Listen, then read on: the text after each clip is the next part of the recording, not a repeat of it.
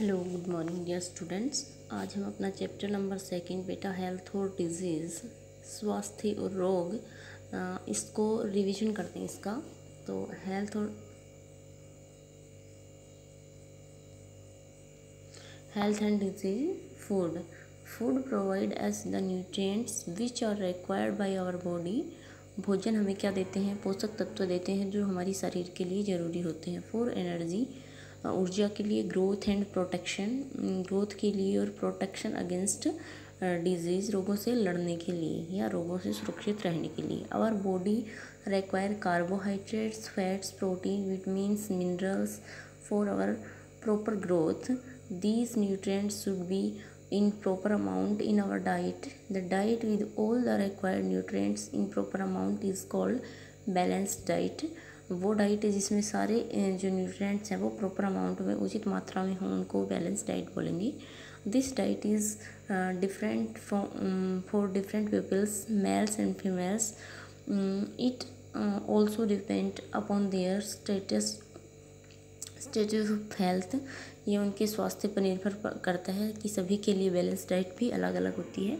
वो, औरत हो या मेल हो या फीमेल ठीक है different types of nutrients according to their functions ah body building food protein होती है ना? एनर्जी गिविंग में कार्बोहाइड्रेट और फैट आते हैं प्रोटेक्टिव में मिनरल्स और विटामिन्स आते हैं carbohydrates carbohydrate provide energy to various daily activities like playing talking etcetera we get carbohydrate from cereal sweet potato sugar etcetera ठीक है बेटा कार्बोहाइड्रेट हमें जो इतनी भी दैनिक एक्टिविटीज़ होती हैं, उनके लिए ऊर्जा देता है। और कार्बोहाइड्रेट के सोर्स हैं, जैसे ब्रेड हो गया वीट हो गया पोटैटो हो गया। इसके बाद आते हैं बेटा फैट पे।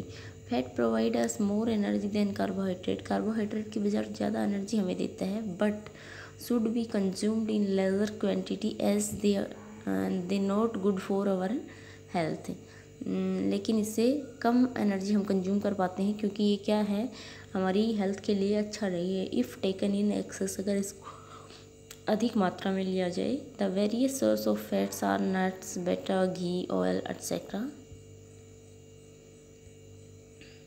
protein protein help in growth of our body and also repair to we are one minute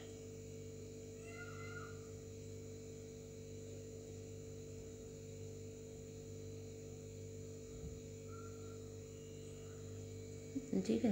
Protein help in growth of our body and also repair the repair the wear and tear of our body tissues हमारी जो शरीर की टूट फूट है, उसकी मरम्मत करती है protein the source of protein are pulses meat fish soybean pea milk etcetera growing kids require more proteins than an adult एक जो छोटा बच्चा होता है, उसको ज़्यादा ज़रूरत होती है बजाय कि एक अडल्ट के। विटमिन्स एंड मिनरल्स ये क्या करते हैं? पीछे हमने देखा ना प्रोटेक्टिव होते हैं। Vitamins keep our body fit improve appetite and increase the body's ability to fight disease minerals help in the growth and development of the body fresh fruit and vegetables are good source of vitamins and minerals ठीक है? Roughage roughage is also very essential part of our diet as it help in bowel movements and prevent uh, constipations. Fruit and vegetables contain enough roughage to get rid of undigested food. Roughage क्या होता है? जो undigested food होता है और ये क्या करता है हमारी?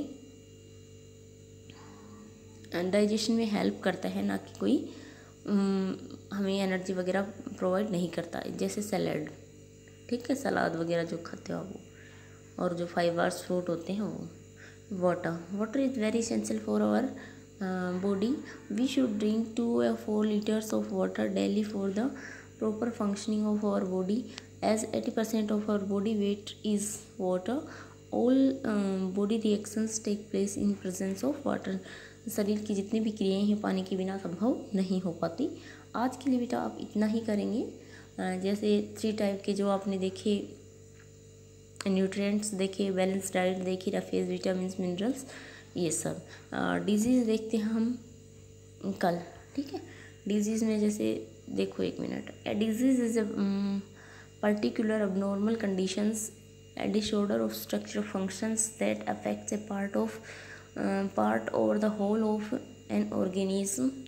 Uh, it affects the normal functioning of our body. Some diseases are caused due to the improper functioning of the body parts like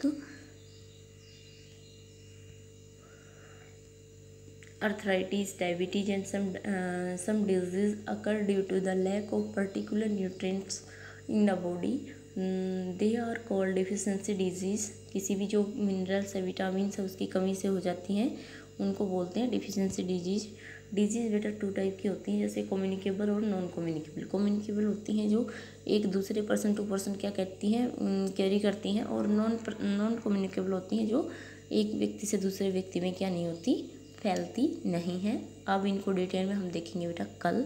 आज के लिए इतना ही। आप इसकी एक्सरसाइज लर्न करोगे और इसके जो क्वेश्चंस हैं, उनमें सिर्फ़ दो क्वेश्चंस आप लर्न करके सेंड कर देना ग्रुप पे। ओके बाय बेटा।